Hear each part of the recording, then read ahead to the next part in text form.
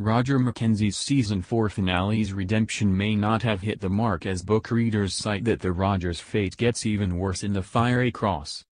Outlander, season 4 made us rethink about a lot of characters and change popular opinions, one being that of Roger Mackenzie, Richard Rankin, the 20th century Oxford professor and Brianna Fraser's, Sophie Skelton, love interest. His misogynistic ideas about marriage and sex made many fans loathe him last season, and though the season finale was his redemption, it did not quite hit the mark because chances are, fans are going to despise him even more in season 5. It is not unknown that Roger and Brianna have a toxic relationship, they can't stand being away from each other and neither can they stand to be together, at least in season 4.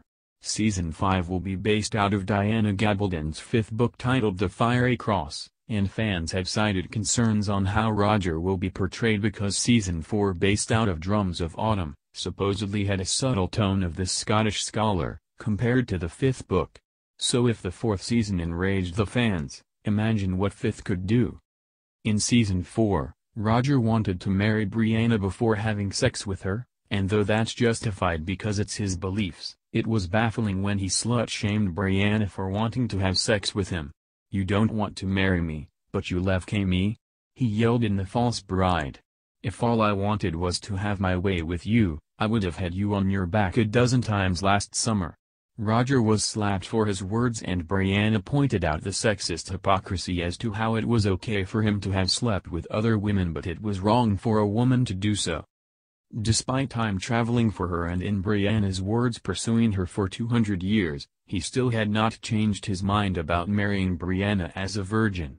After a brief hand-fasting session and intense lovemaking sesh, they fight again and are not reunited until the finale where Roger has been beaten to the pulp by Jamie Fraser, sold to the Mohawks of New York, who torture him even more and does not win the title as the ultimate man of worth since young Ian takes the crown.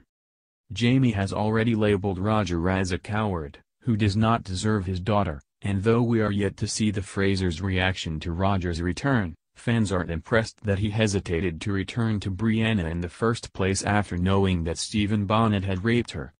Now in the Fiery Cross, according to fans who have read the book, the history professor's stupidity is very apparent as he wanders more in the wilderness, continues the toxic relationship with Brianna, and is in conflict with almost everything. Spoiler coming, in the books Roger is beaten again and hanged, but he survives.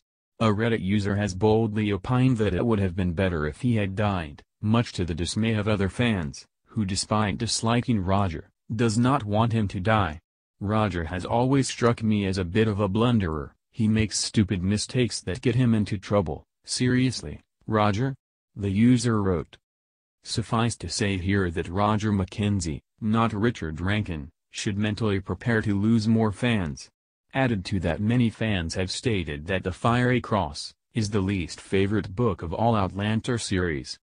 Fiery Cross had to have been the most boring, longest book of the series so I hope the show doesn't make me fall asleep with three episodes of The Gathering or something, a user wrote.